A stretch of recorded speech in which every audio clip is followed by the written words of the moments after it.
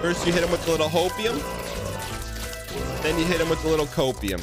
There's there needs to be a third opium. What's the third opium?